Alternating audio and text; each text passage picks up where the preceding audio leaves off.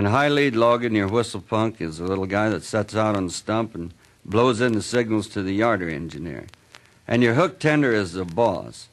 This is a story of a little guy that was a whistle punk, and he wanted to be a hook tender in the worst way, and I guess in his own way, he finally made it. Whistle Punk Pete, he stood only five feet. He wasn't gonna get any bigger. But his main ambition was to hold the position of hook tender and head rigger.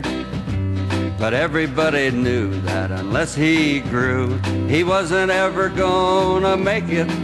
It takes a pretty big man that's an all around hand. There's hardly any way you can fake it. You put a block and a strap on the little Pete's back, he'd head in the wrong direction making new layouts and pulling haywire. He couldn't even pull one section, but he could climb all right. Didn't mind the height, but when he got to the top, oh golly, he was too small to tackle a guy line shackle. He couldn't even hook up a molly. But he was running around with a gal downtown. She was fat, but kinda pretty. And we heard one day that they'd ran away, got married in a nearby city.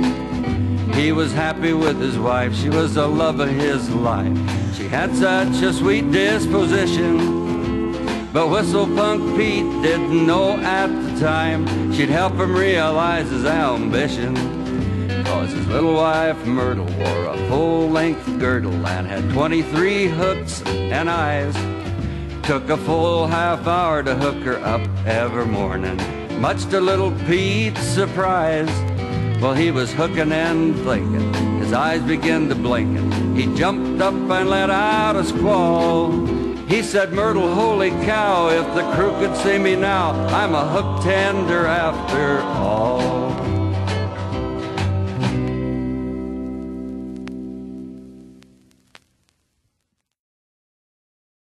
In high lead logging, your whistle punk is a little guy that sets out on the stump and blows in the signals to the yarder engineer. And your hook tender is the boss.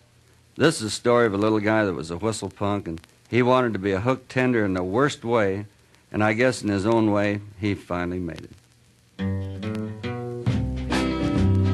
Whistle Punk Pete, stood only five feet.